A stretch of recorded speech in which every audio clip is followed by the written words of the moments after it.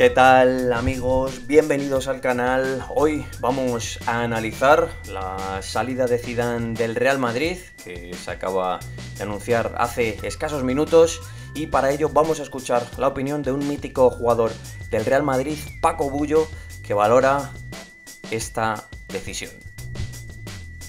Que ha sido, para mí ha sido quizá ¿no? Eh, el mejor entrenador que, que, ha tenido el Real Madrid en su historia. Creo que eh, por los títulos logrados ha sido espectacular en un espacio relativamente corto de tiempo, ¿no? Creo que, y que bueno, por encima de todo ha hecho una, una gran labor, ¿no? Bueno, yo creo que eh, en esta segunda vuelta, pues creo que eh, era, fue una vuelta complicada, muy difícil, un equipo que, que estaba pidiendo gritos, ¿no? Una reconstrucción, una remodelación de la plantilla y bueno, y, creo que, bueno, aún así logró una liga, estuvo a punto de, de lograr de lograr otra, ¿no? Y en la Champions, pues estos dos años, pues yo creo que, bueno, llegó, este llegó a ser final, la anterior, por circunstancias, eh, no sé si quedó en cuartos fuera, pero, pero yo creo que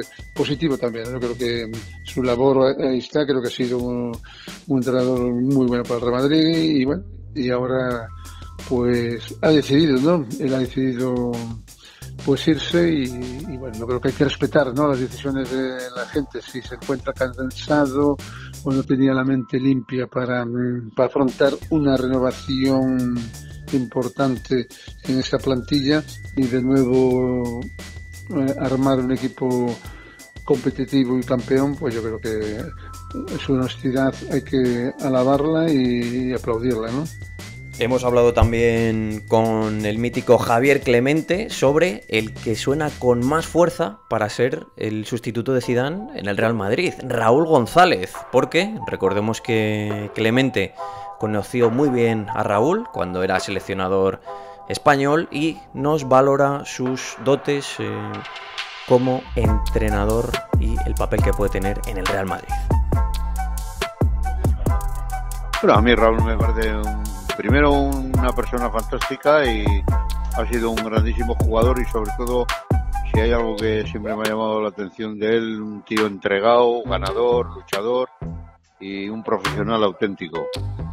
Y me, parece muy buena persona, o sea, una persona discreta, sencilla y que y ahora que se, que se está haciendo entrenador o que ha empezado a ser entrenador, pues yo me parece que bueno, que estará capacitado y preparado perfectamente para, para ser un muy buen entrenador. Otra cosa es que, que le fiche el Real Madrid de entrenador, pero eso es cosa del Real Madrid, no cosa mía.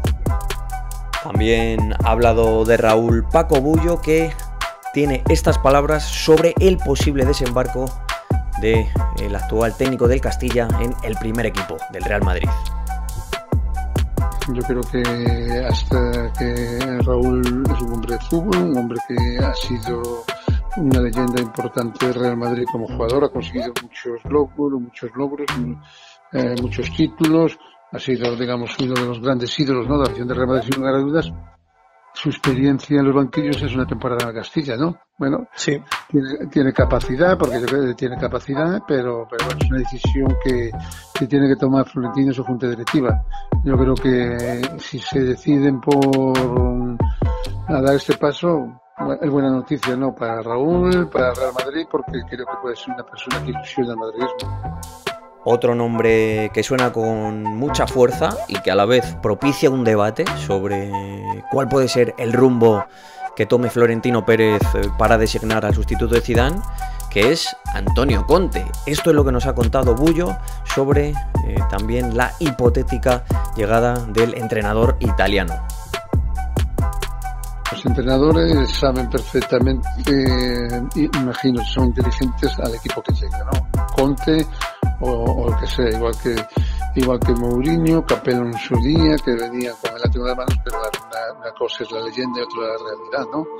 Esto no se trata de, de mano dura ni mano blanda, yo creo que eh, cuando tú llegas al Real Madrid, llegas a un equipo extraordinario, eh, plagado de grandes jugadores. Entonces, lo que tienes que hacer no es ni mano dura, ni mano blanda, ni mano izquierda, es hacerlos funcionar, sacarles el máximo rendimiento.